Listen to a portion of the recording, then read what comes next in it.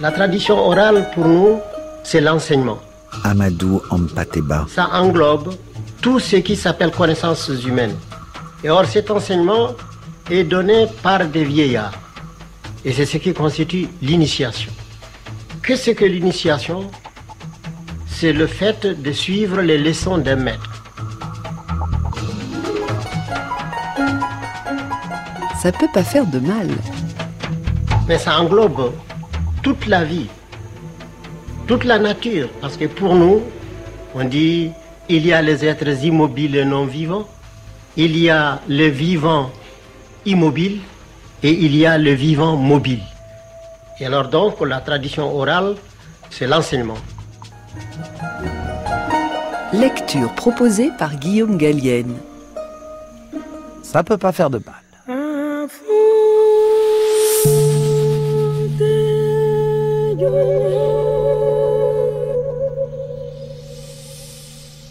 Plusieurs amis lecteurs du manuscrit se sont étonnés que la mémoire d'un homme de plus de 80 ans puisse restituer tant de choses et surtout avec une telle minutie dans le détail.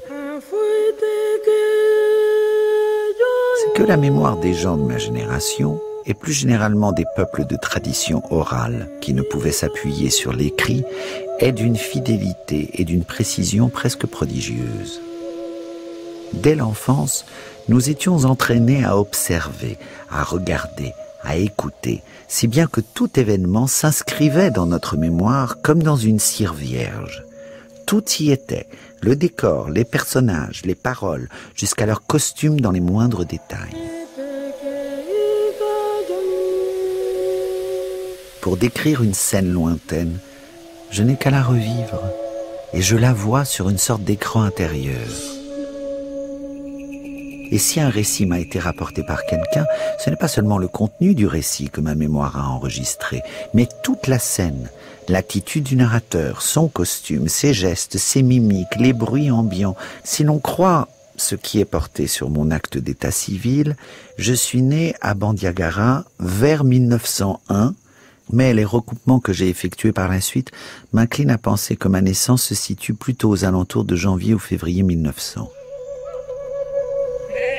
Au moment de ma naissance, ma grand-mère, Antan Diobi, se trouvait à 70 km de Bandiagara avec ses troupeaux en transhumance.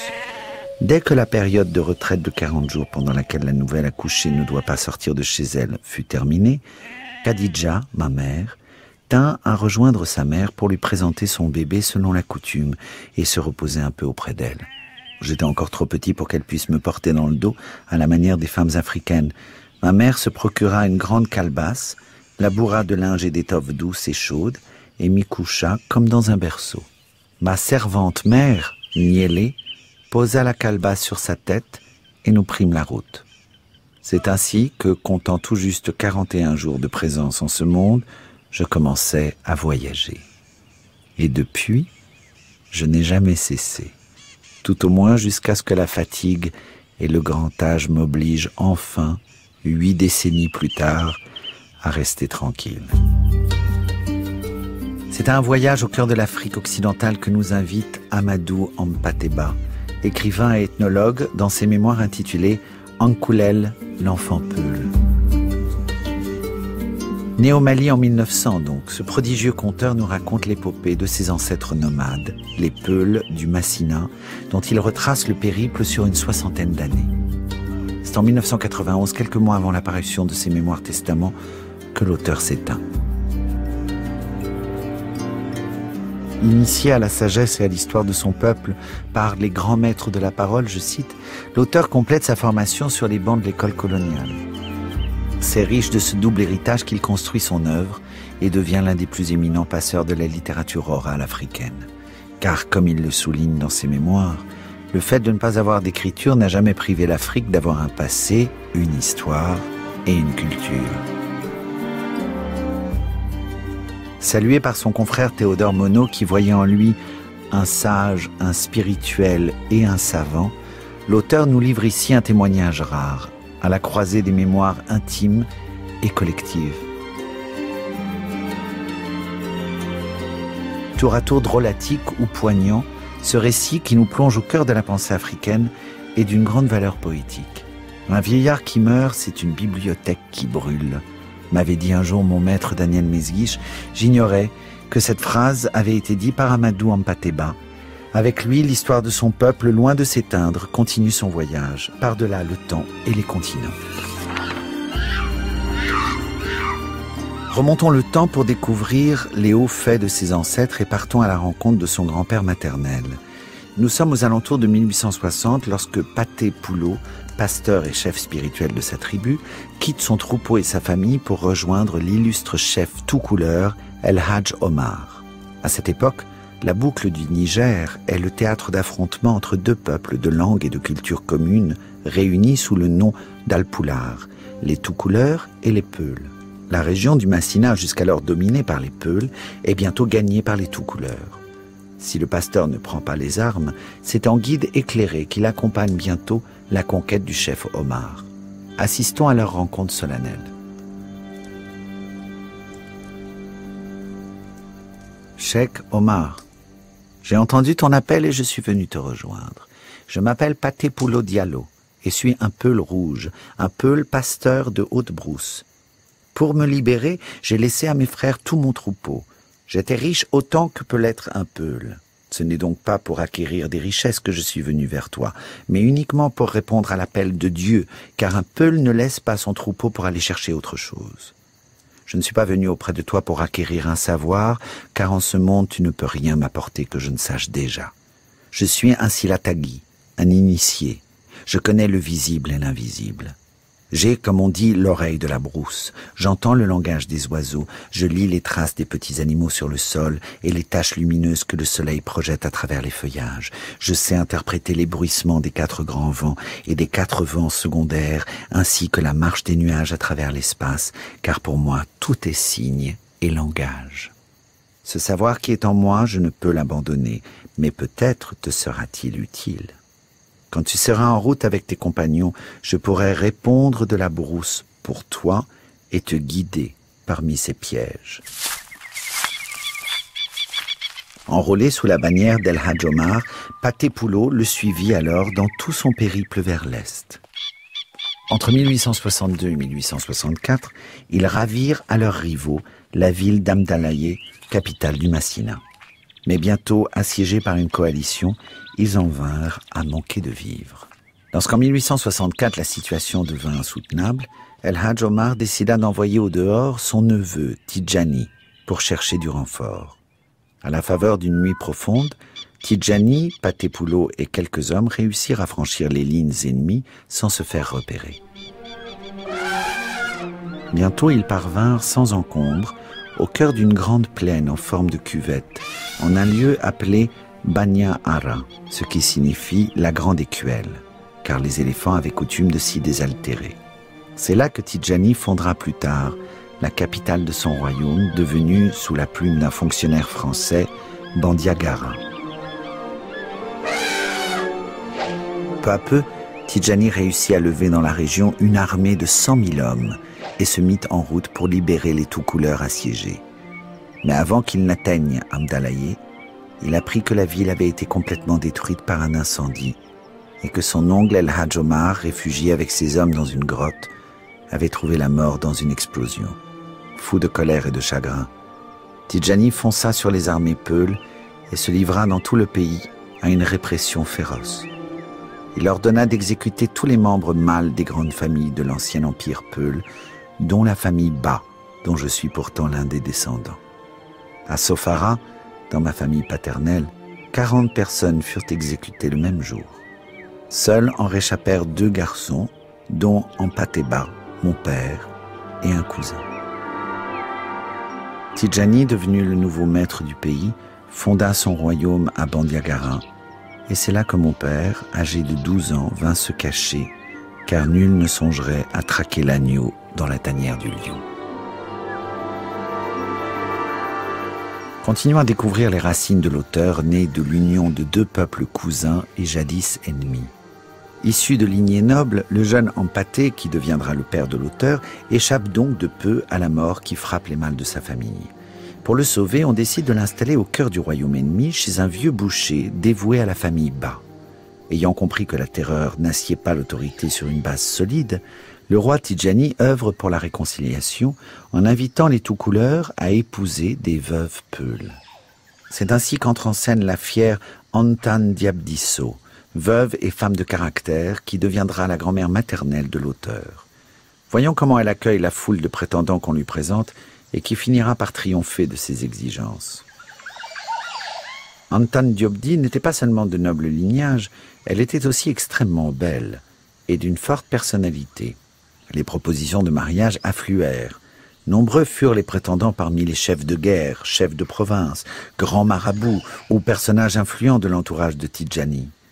Chaque fois, Anta répondait avec hauteur.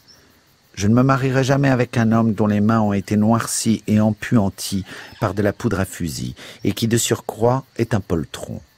Seul un poltron peut accepter de se battre avec un fusil. Se cacher derrière un arbre et tuer à distance, ce n'est pas se battre. La bravoure, c'est le combat à la lance ou au sabre, les yeux dans les yeux, poitrine contre poitrine. Je n'accepterai pour époux qu'un homme qui ne s'est jamais servi d'un fusil. D'ailleurs, pour l'initiation féminine Peul, je suis reine de lait, et le lait et la poudre ne vont pas ensemble. La poudre salirait mon lait. Les candidats repoussés se considérèrent comme insultés et s'en plaignirent amèrement à Tidjani. Celui-ci, sa curiosité piquée au vif, tint à voir de ses yeux cette femme intraitable et à entendre de ses oreilles les paroles qu'on lui prêtait. Il la fit venir auprès de lui. À ce que je crois comprendre, lui dit-il, tu ne désires épouser aucun de mes braves compagnons parce qu'ils se seraient salis avec de la poudre à fusil. Ne sais-tu pas que si tout le monde prend de la poudre de mille pour se nourrir, seuls les braves prisent par leurs narines la poudre noire du fusil pour se couvrir de gloire? Antan Diobdi sourit et baissa pudiquement la tête. Nous sommes en train de tomber d'accord, n'est-ce pas, ma sœur? Vénérable roi, jamais nous n'avons été aussi opposés que sur ce point particulier. Il va sans dire que tu peux imposer ton point de vue et même ta volonté, mais tu ne me convaincras jamais qu'un homme qui se bat avec un fusil est aussi brave que celui qui attaque son ennemi au sabre ou à la lance. C'était là de sa part une grande témérité, car les tout couleurs de l'entourage de Tidjani se battaient tous avec des fusils. Bien qu'ayant parfaitement compris l'allusion méprisante de la femme Peul, Tidjani ne s'en offusqua pas. Il lui trouva une excuse dans la souffrance que devait lui causer la perte de son mari et l'humiliation des siens. Puisque tu as horreur des renifleurs de poudre noire, lui dit-il en souriant, j'ai aussi parmi mes braves des peuls oreilles rouges, qui désignaient des peuls de pure race liés à la vie pastorale, comme toi. Ils sont nés du lait et du beurre et n'ont jamais voulu lutter à mes côtés qu'à l'arme blanche. Parmi eux, il en est un que je chéris tout particulièrement. C'est un grand Salatagui, un initié venu du Sénégal, qui jadis abandonna ses troupeaux, son pouvoir et tous ses biens pour suivre mon oncle El Hadj Omar, je le considère comme un père. Il se nomme Paté Poulot. Ma sœur, accepte de le rencontrer. S'il pouvait te plaire, j'en serais très heureux. Comme la pudeur peu l'exigeait, Anta garda les yeux baissés et rentra chez elle. Quelques jours plus tard, elle reçut la visite de Paté Poulot. C'était un homme au teint clair, de haute taille, solide et bien fait de sa personne, et qui ne s'était jamais battu qu'à la lance et au sabre. Il lui plut. On célébra leur mariage. De leur union devaient naître six enfants, dont ma mère, Khadija.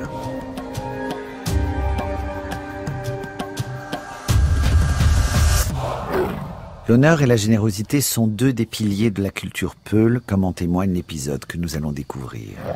Anta coule des jours heureux aux côtés de son second époux, Patépoulot, mais un jour elle découvre l'existence cachée de son neveu, Ampatéba, le fameux agneau caché dans la tanière du lion. Dernier représentant de la noble lignée des Bas, Ampaté est hébergé par un brave boucher dont il apprend le métier. Profondément meurtri de voir son neveu vivre sans nom et réduit à un rang inférieur au sien, Anta perd l'appétit et le goût de vivre. Selon le vœu de son épouse, Patépoulot décide alors d'aller révéler au roi l'existence du jeune Peul, ayant échappé à sa sentence, au risque de provoquer sa perte. Suivons-le lors d'une audience privée à la cour. Eh bien, fit le roi, quel crime a donc commis ton protégé? Il s'agit d'un crime dans lequel il n'est pour rien. Son crime est d'être né dans la famille des Ba et des Hamsala du Fakala. À ce titre, il est frappé par la condamnation à mort qui fut décrétée contre tous les membres mâles de sa famille. Or, il est devenu mon neveu par alliance puisque j'ai épousé sa tante, Antan Diobdi. Ah C'est le neveu de cette femme Peul dont j'ai tant admiré la beauté et la fierté? Oui. Et c'est elle qui m'a obligé à venir te le présenter, quelles qu'en puissent être les conséquences. Je viens donc te demander la vie sauve pour Ampaté, qui est désormais mon enfant, au même titre que mon premier-né. Tidjani garda le silence un bon moment, puis il dit Père Paté, c'est la deuxième fois que je me heurte à Anta, cette âme mâle, mal logée dans un corps de femme.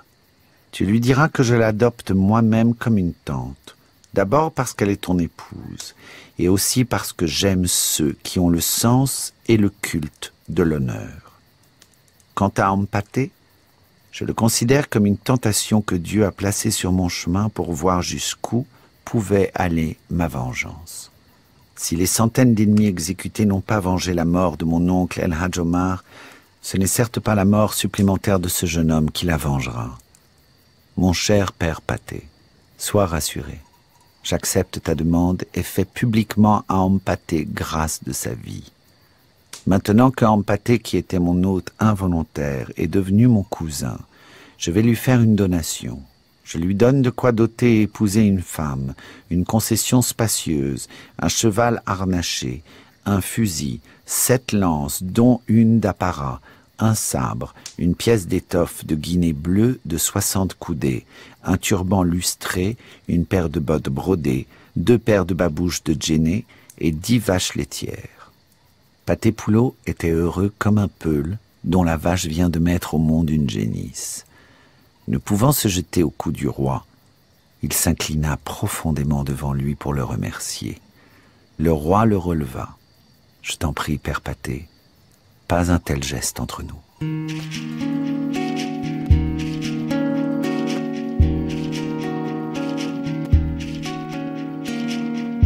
ne maku mahirna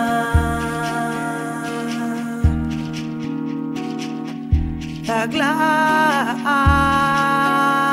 kakla kakla kakla kakla kanadi umayna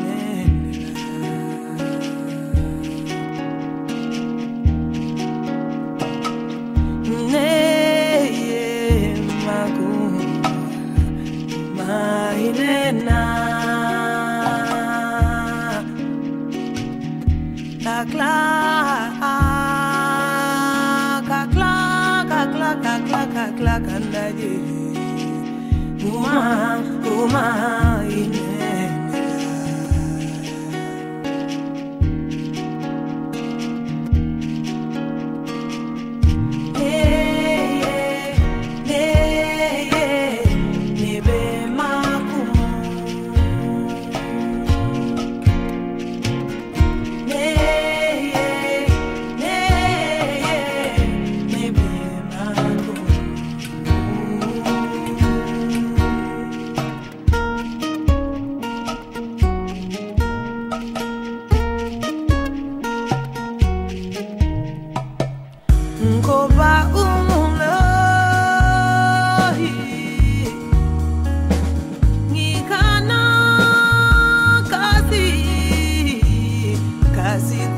la neva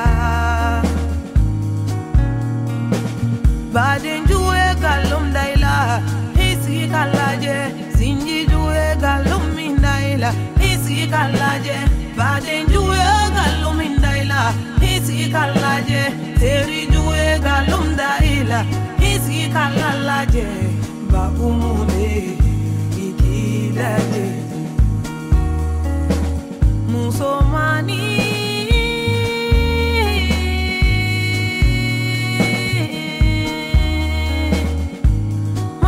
chikela eh, manake aritisi eh, manake tuzugolodi eh, manake kodona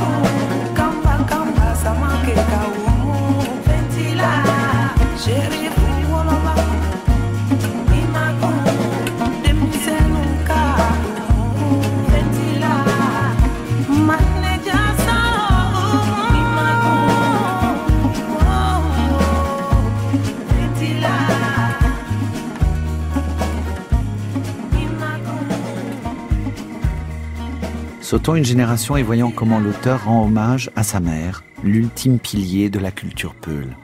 Le roi Tijani Tal s'est éteint et Ampaté mène une vie paisible et digne de son rang au pied des falaises du pays d'Ogon, à Bandiagara. Désormais seul héritier de la lignée des Bas, c'est à lui qu'Anta décide de donner sa fille, Khadija, convoitée par toutes les grandes familles de la région. À l'aube du XXe siècle, Khadija met au monde Amadou Ampateba, le narrateur de cette histoire. Mais Khadija n'est pas heureuse en mariage et demande le divorce. Large d'esprit, Ampaté rend sa liberté à cette femme, faite d'acier trempé, qu'il souhaite avant tout voir heureuse. Cette dernière se remarie alors avec un autre Tijani, Tijani Amadou Alitiam, qui sera le grand amour de sa vie. Victime d'une fausse accusation, l'homme est bientôt condamné à trois années de prison et sa famille est laissée sans nouvelles. Une nuit, au mépris du danger qu'elle encourt, Khadija part à sa rencontre. Suivons-la tandis qu'à la bord de la prison de l'administration coloniale, vêtue en homme, culotte bouffante, bottes, turban et sabre. Revêtue de ces effets qui la rendaient méconnaissable, Khadija se dirigea dans le quartier des Blancs, accompagnée de son fidèle serviteur Beidari, qui la suivait à distance pour la protéger contre tout danger éventuel. Il était minuit passé quand elle aborda le quartier des gardes qui faisait face à la prison. Seuls quelques bruits perçaient de temps en temps le silence. Pleurs d'un bébé réveillé par la faim, ululement d'un chat huant, aboiement de chiens propres à faire fuir voleurs et mauvais esprits. À l'époque, c'était un véritable suicide que de s'aventurer ainsi dans le quartier des Blancs, à une heure où les sentinelles avaient tout le droit de tirer à vue sur tout ce qui bougeait de façon insolite. Le brigadier chef, qui s'appelait Bouraïma Soumaré, jouissait d'une solide réputation de férocité. Mais c'était aussi un tout couleur, et sa femme appartenait à l'association tenue par Khadija. Lorsqu'il vit Khadija sous l'apparence d'un homme armé d'un sabre, il voulait appeler ses gardes à la rescousse, mais le timbre d'une voix féminine le figea sur place. Je suis venue te voir, dit-elle, au risque de ma vie, pour te demander de me laisser voir mon mari. Je sais qu'il est vivant et qu'il est enfermé dans l'une des cellules de la deuxième cour. Ce que tu me demandes là, Khadija, c'est tout comme si tu me demandais d'aller tirer sur les testicules du commandant La Bretèche. Soumaré fit Khadija d'un ton décidé. Si j'allais cette nuit même tirer sur les glandes génitales du commandant et que j'en revienne vivante, me montrerais-tu mon mari? Une telle détermination troubla le brigadier chef. Sans lui laisser le temps de reprendre son souffle, Khadija continua. Je sais que mon mari est derrière cette muraille. Je te jure, Bouraïma, que si je ne peux le regarder cette nuit dans les yeux, je ne verrai pas demain matin se lever le disque du soleil. Bouraïma, qui connaissait Khadija et ne doutait pas qu'elle fût capable d'un malheureux coup de tête, considéra l'opprobre qui souillerait son nom si elle venait à périr par sa faute. Oh, Khadija, dit-il, je sais à quoi je m'expose au cas où l'un de mes gardes me trahirait par méchanceté. Mais tant pis, je ne veux pas être moins brave qu'une femme. Viens, je vais te conduire auprès de ton mari. Et que Charles de la Bretèche, s'il l'apprend, fasse s'écrouler le plafond du ciel sur le plancher de la terre. Quelques minutes plus tard, la porte de la cellule, étroite comme une tombe où demeurait Tidjani, s'ouvrait. Bouraïma appela. Tidjani Tiam Tidjani Tiam Qui m'appelle? Comme veut-on fit la voix affaiblie de Tidjani. Je suis le brigadier chef Bouraïma Soumaré. Sors, je t'apporte des nouvelles. Khadija se tenait sur le côté. Après quelques instants qui lui parurent interminables, la silhouette courbée de Tidjani apparut. Sale, couvert de sueur, il ne portait sur lui qu'un pantalon dont les jambes étaient remontées jusqu'aux cuisses en raison de la chaleur étouffante qui régnait dans le cachot. Le plafond était si bas qu'il ne lui permettait pas de se redresser totalement. Un petit soupirail placé à l'extrémité d'un conduit laissait filtrer un peu d'air, mais aucune lumière ne passait. Quelqu'un de ta famille demande à te parler, dit le brigadier. Ce ne peut être que Khadija, s'exclama Tidjani. Oui, Naba, très cher maître, s'écria Khadija. En sortant du recoin où elle se tenait, elle se jeta dans les bras sans force de son mari. Le cœur en fait, Khadija rentra chez elle et prit son petit déjeuner avec un appétit qui étonna ses proches. Dans les jours qui suivirent, elle s'arrangea pour donner discrètement aux femmes des gardes de faction des bijoux en or, des boules d'ambre et des coraux de grand prix. Elle réussit également à bien disposer en sa faveur les cinquante gardes de cercle qui composaient le peloton de police de Bandiagara. Désormais, les portes de la prison lui étaient ouvertes chaque nuit, depuis la sonnerie du clairon de 21 heures jusqu'au premier appel du muezzin. Non seulement Khadija visitait son mari chaque nuit, mais elle amenait avec elle Ali Dieli, le griot guitariste en titre de Tidjani. Il va sans dire que les gardes avaient pris sur eux de transférer Tidjani dans une cellule plus vaste et moins inconfortable. Tidjani ne réintégrait sa cellule tombeau qu'en cas de visite du commandant de cercle, de son adjoint ou du fonctionnaire colonial qui gérait la prison. Un des aspects les plus fascinants, c'est le contact avec la nature, les êtres immobiles et les êtres mobiles, les animaux par exemple. Parlez-nous, Excellence, du plus célèbre d'entre eux, du lion. Amadou Ampateba. C'est l'animal euh, extraordinaire. Et s'il est le premier à voir le chasseur ou le berger, ou même un simple voyageur, si le lion est le premier à voir la personne, et qu'il est sûr que la personne ne l'a pas vu, la personne ne le verra plus. Parce qu'il peut se, se tapir, se mettre à plat ventre là derrière une motte de terre et on peut passer à côté sans s'en apercevoir. Mais maintenant, si on le voit et qu'il sait qu'on l'a vu, là, il se redresse de toute sa taille pour voir à qui il a affaire. Si le type est armé, lui aussi il s'arme, comme on dit les chasseurs. Parce que quand il est au repos, son ventre c'est une espèce d'outre et ça traîne presque à terre. Et alors lorsqu'il prend une position de bataille, il remonte tout son ventre pour en faire une poitrine. Alors là, son ventre se creuse comme celui du lévrier. Et alors il se met sur son arrière-train, puis alors il regarde. Plusieurs années passent, voyons comment l'auteur gagne son surnom Dame Koulel, Petit Koulel, et s'initie à l'art du conte. Orphelin de père à trois ans, Amadou est adopté par son beau-père, Tidjani Thiam. Après le bagne et les années d'austérité, Tidjani retrouve les siens et la famille vit désormais à Bougouni, en pays Bambara.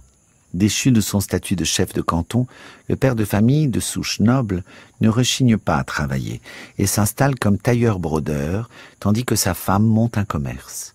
Les soirées sont joyeuses et la famille s'entoure d'une véritable petite cour. C'est lors d'une de ces veillées que l'auteur, âgé de sept ans, fait la rencontre du conteur Koulel. Ma famille parlait maintenant parfaitement le bambara. Chaque soir, la maison se remplissait de peuls de tout couleur et de bambara qui venaient écouter chanter le griot Alidieli ou entendre conter Koulel, le maître du grand parler Peul. Il fallait nourrir tout ce monde, mais Dieu merci, ma mère savait gagner de l'argent. Son campement restauration marchait à merveille et ses diverses activités commerciales prospéraient. Plus de vingt personnes prenaient leurs trois repas de la journée à la maison. L'hospitalité de ma mère était telle que les gens de Bougouni disaient en maxime Le repas de Tidjani Thiam se prend jusque dans la rue. Jamais ma mère n'avait mieux mérité son surnom de Debodium Timba, femme à pantalon. Dans ma petite enfance, j'avais déjà entendu beaucoup de récits historiques liés à l'histoire de ma famille, tant paternelle que maternelle, et je connaissais les contes et historiettes que l'on racontait aux enfants. Mais là, je découvris le monde merveilleux des mythes et des grands contes fantastiques, dont le sens initiatique ne me serait révélé que plus tard. L'ivresse des grandes épopées relatant les hauts faits des héros de notre histoire, et le charme des grandes séances musicales et poétiques où chacun rivalisait dans l'improvisation. On m'a demandé un jour quand j'avais commencé à récolter les traditions orales.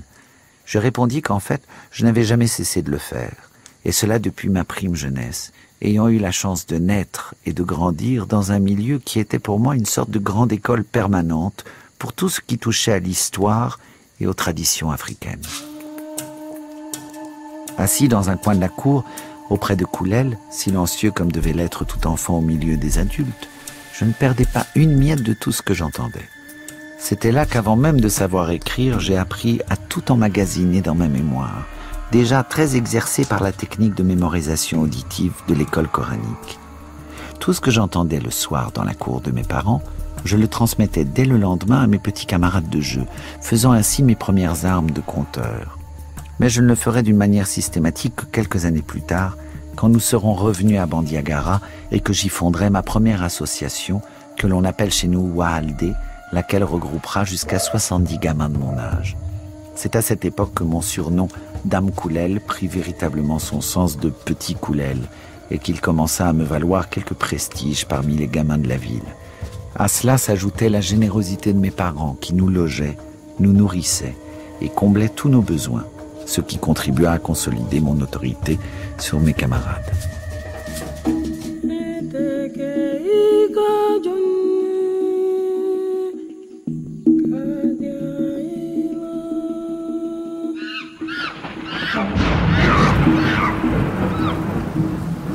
Continuons à feuilleter ce grand fleuve du dire et découvrons un épisode drôlatique de l'enfance d'Amadou. Nous voici de retour à Bandiagara où le narrateur est né huit ans plus tôt. Heureux et très libre, il passe l'essentiel de son temps à batifoler avec ses camarades, véritable petit gavroche, intrépide, spirituel et moqueur. Découvrons une anecdote facétieuse, révélatrice de la frontière qui sépare les colonisés et les colons. Tout ce qui touchait de près ou de loin aux Blancs et à leurs affaires, y compris leurs ordures, était tabou pour nous. On ne devait ni les toucher ni même les regarder.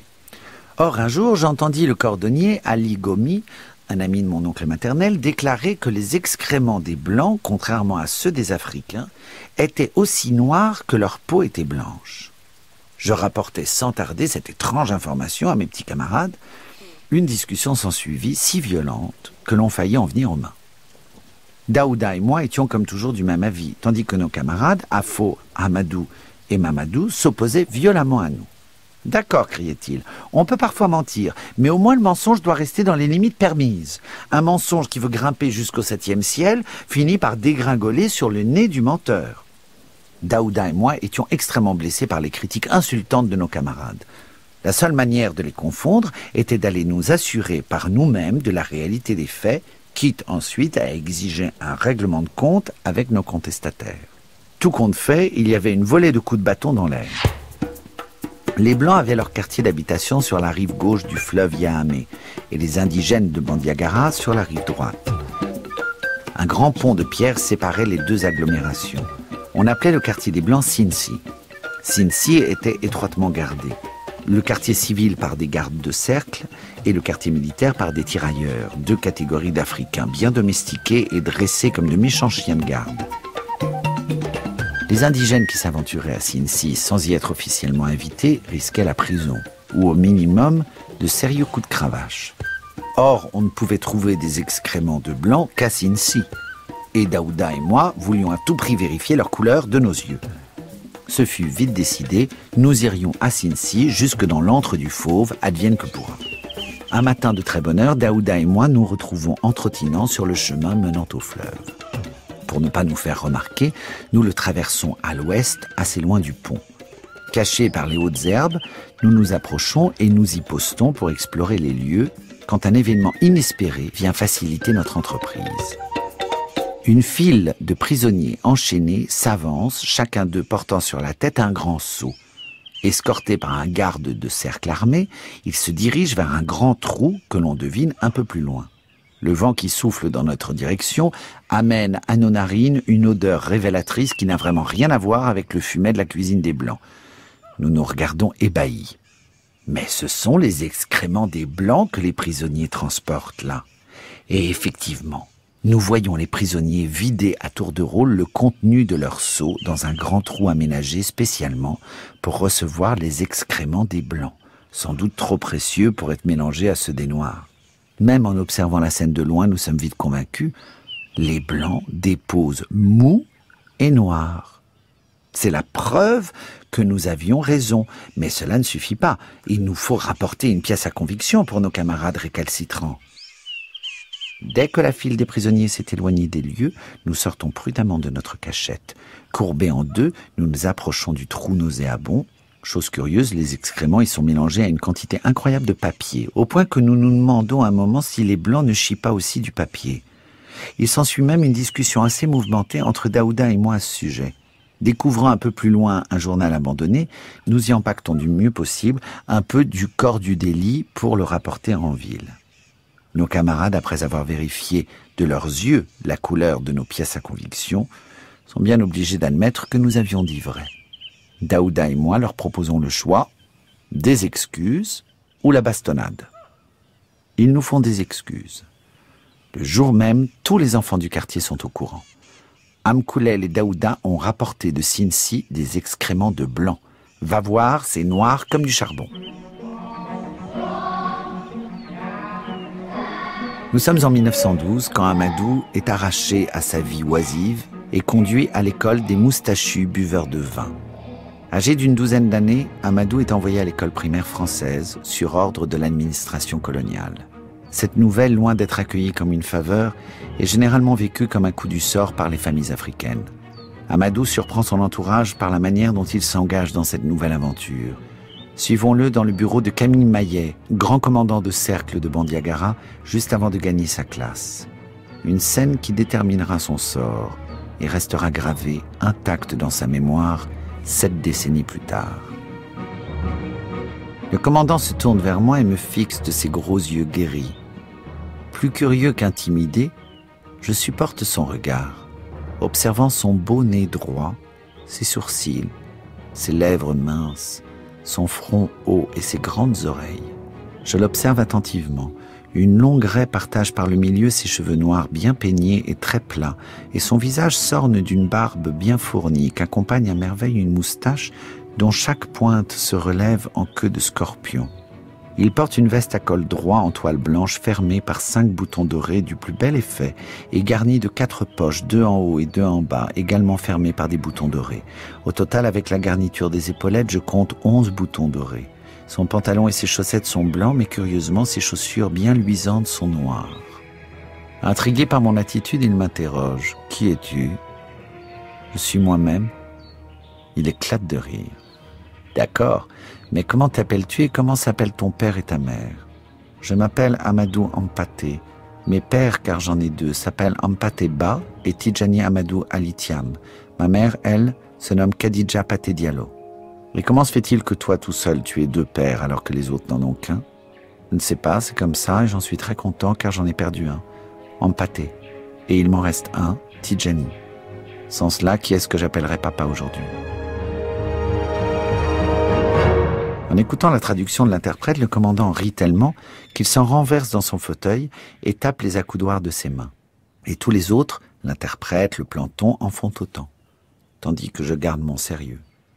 Son calme retrouvé, le commandant reprend. Veux-tu aller à l'école pour apprendre à lire, à écrire et à parler le français qui est une langue de chef, une langue qui fait acquérir pouvoir et richesse?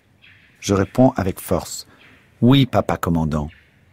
Et je t'en conjure par Dieu et son prophète Mohammed, ne me renvoie pas, garde-moi et envoie-moi à l'école le plus vite possible. Visiblement, le commandant est interloqué par une réponse aussi inattendue de la part d'un petit nègre, surtout dans une région très musulmane. Pourquoi, mon petit, tiens-tu tellement à aller à l'école contrairement aux enfants de Bandiagara? Interprète Dis au commandant que j'ai manqué deux fois être chef. Une fois en tant que fils de Ampaté et une fois en tant que fils de Tidjani. Or, ce dernier m'a dit que la chance se présente toujours trois fois avant de se détourner définitivement. Le commandant me donne ma troisième chance de devenir chef. Je ne voudrais pas la rater cette fois. C'est pourquoi je veux aller à l'école. Sans ajouter un mot. Il donna l'ordre de me conduire en classe, accompagné d'un jeune camarade récalcitrant prénommé Madani. À notre arrivée, le maître se leva et nous conduisit au dernier rang. Il me fit asseoir à l'avant-dernière place, en nous demandant de tenir nos bras sagement croisés sur la table. Je me perdis en réflexion. Pourquoi m'avait-on placé avant Madani, fils du chef du pays, et pourquoi l'un de ses captifs, Daye Konaré, était-il assis au premier rang? Peut-être était-ce une erreur Après un moment, je me levai pour céder ma place à Madani et m'installai à la sienne. Qui vous a permis de changer de place? s'écria le maître en bambara. Je me levai et répondis dans la même langue. Madani est mon prince, monsieur, je ne peux me mettre devant lui. Ici, c'est moi qui désigne les places. On ne les choisit pas, tu entends? J'entends, monsieur. Reprenez les places que je vous ai données. Ici, il n'y a ni prince ni sujet. Il faut laisser tout cela chez vous, derrière la rivière. Dès lors, je pris chaque matin de bonne heure le chemin de l'école qui se trouvait à deux kilomètres de la maison. Je portais en bandoulière un sac de toile contenant mes nouveaux trésors, mes cahiers, mes livres, mon ardoise, un beau porte-plume en bois blanc de France muni d'une plume sergent-major, des crayons, une ardoise, deux gommes, un buvard, une toupie garnie de sa ficelle, un petit couteau et un sachet contenant quelques friandises, arachides, patates douces et pois de terre. Il y a le sous-développement matériel et il y a le sous-développement aussi intellectuel. Parce qu'un homme qui rompt, rompt avec sa tradition pour adopter la tradition, totalement la tradition d'un autre, pour moi, il est sous-développé, ethniquement parlant. Amadou Ampateba. Puisque c'est le bonhomme qui va emprunter la charrue de quelqu'un et qui, se- et qui va travailler dans le jardin d'un autre. Alors, je comprends qu'il ait prêté la charrue de quelqu'un, mais qu'il vienne labourer la terre de son père. Ce serait beaucoup plus profitable pour lui. Et alors donc, il y a le sous-développement matériel et le sous-développement culturel. Et or, l'Afrique n'est pas culturellement sous-développée, mais elle n'a pas eu le moyen de s'exprimer.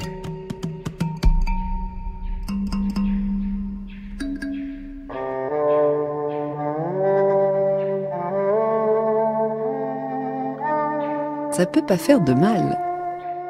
Lecture proposée par Guillaume Gallienne. C'est par un adieu à la mer que s'achève ce puissant hommage à la culture peule.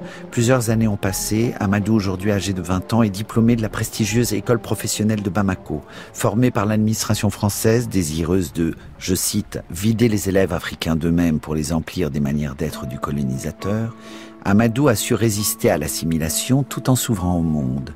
Mais son indépendance d'esprit n'est pas du goût du gouverneur, qu'il expédie à 1000 kilomètres de chez lui comme écrivain temporaire à titre essentiellement précaire et révocable. Suivons le jeune homme à l'heure de son départ pour son premier poste officiel à Ouagadougou. À l'heure de faire ses adieux à sa mère et à son enfance, il reçoit de Khadija ses dernières recommandations. Rends le plus de service que tu le pourras et demande-en le moins possible. Fais-le sans orgueil et ne sois jamais ingrat ni envers Dieu ni envers les hommes. Sois fidèle et fais tout pour ne pas blesser tes amis. Ne te bats jamais avec un homme plus jeune ou plus faible que toi. Si tu partages un plat avec des amis ou des inconnus, ne prends jamais un gros morceau, ne remplis pas trop ta bouche d'aliments et surtout ne regarde pas les gens manger car rien n'est plus vilain que la mastication. Respecte les personnes âgées. Chaque fois que tu rencontreras un vieillard, aborde-le avec respect et fais-lui un cadeau, si minime soit-il. Demande-lui des conseils, questionne-le avec discrétion. Méfie-toi des flatteurs, des femmes de mauvaise vie, des jeux de hasard et de l'alcool. Respecte tes chefs, mais ne les mets pas à la place de Dieu. Confie ton sort à Dieu chaque matin au lever et remercie-le chaque soir avant de te coucher. Tu as bien compris? Oui, Dada. Sois tranquille. Je garderai chacune de tes paroles devant moi toute ma vie. Et revenant vers la pirogue, nos pieds s'enfonçaient dans le sable fin. Avant que je ne m'embarque, ma mère récita la Fatiha et me bénit. Elle pivota sur elle-même et reprit le chemin de la dune, marchant toute droite, sans se retourner une seule fois. J'avais l'impression qu'elle pleurait, mais sans doute cette femme si fière ne voulait-elle pas que je voie ses larmes. Je me tournai instinctivement pour regarder encore une fois ma mère. Je la vis qui atteignait le sommet de la dune. Peu à peu, sa silhouette élégante disparut derrière la dune, comme avalée par le sable. Avec elle disparaissait Amkoulel et toute mon enfance.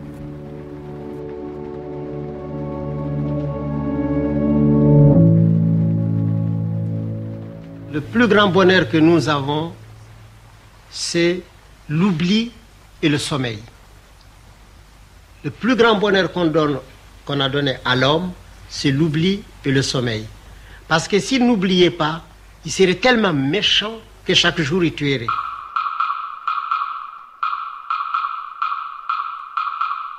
Ça peut pas faire de mal.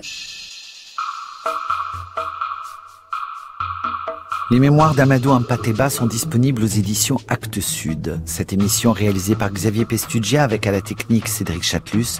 Elle a été préparée par Fanny Leroy et Estelle Gap. Bonne soirée et à la semaine prochaine.